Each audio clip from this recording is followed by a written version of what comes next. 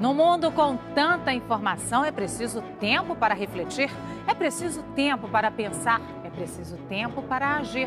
Na política, na economia, no esporte, na cultura, no meio ambiente, na sua qualidade de vida. Aproveite o tempo e venha conhecer a nova edição do Repórter Brasil, direto do Rio de Janeiro para todo o país, de segunda a sexta ao meio-dia, na sua TV Brasil.